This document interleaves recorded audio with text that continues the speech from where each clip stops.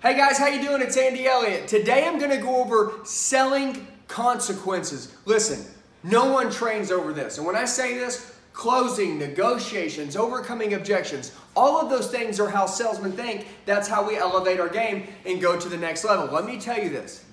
Yes, that's right, but also advanced selling is selling consequences. Most people don't understand what selling consequences is. This is what it is. It's leveraging pain and pleasure.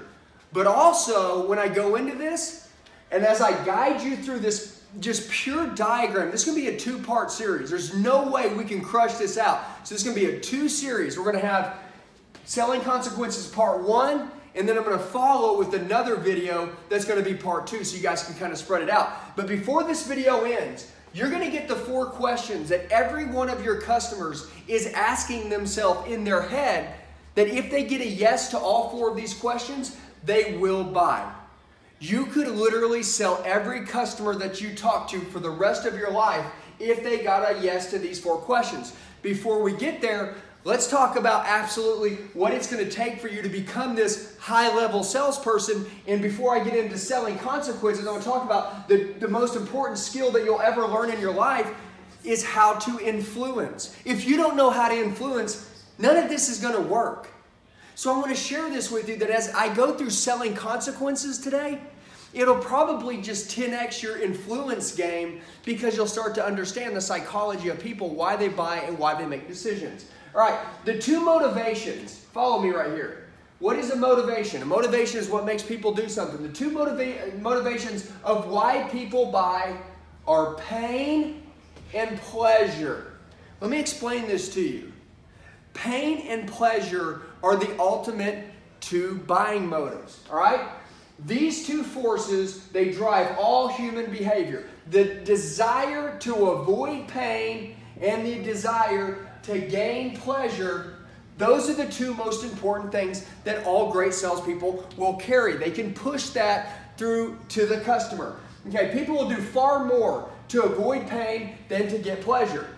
These two next sentences just sum up the life of every customer. If people do not buy, it's because they associate more pain than to not buying. If people do buy, it's because they associate more pleasure than to not buying. And I want to share this with you. As I go through this, if you're like, man, you know, I just don't get this yet, watch it again. Let me explain this to you. When you want to elevate your game and go to the next level, you have to start to understand this is the psychology of selling. This is a psychology of closing. As an influencer or as a salesperson, you must sell consequences, okay?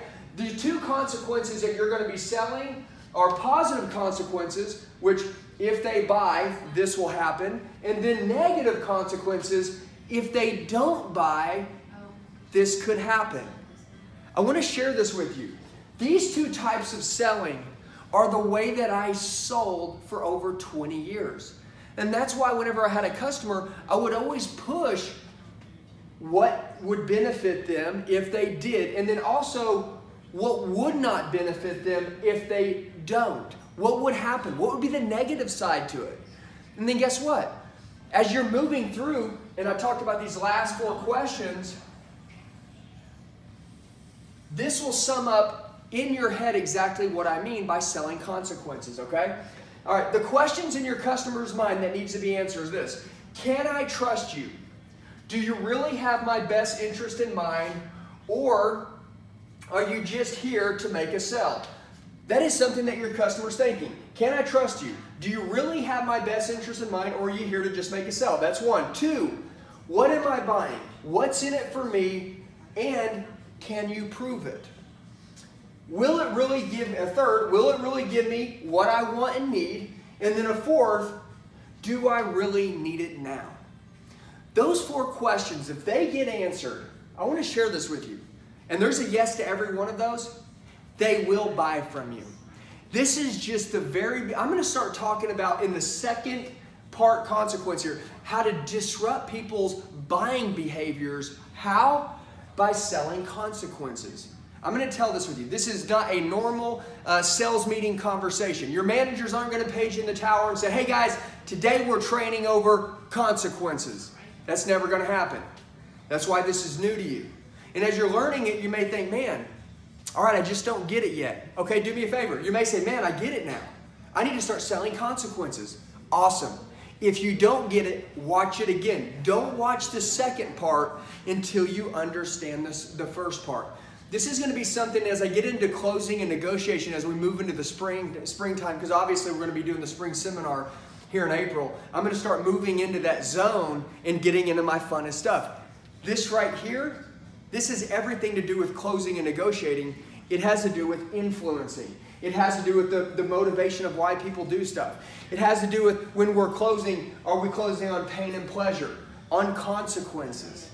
And then, like I said, the second part of this is really going to tie it all in and really show you how we're going to sell those consequences. So, guys, I hope you found this video useful. Do me a favor, give me a thumbs up if you liked it, and then have a great day.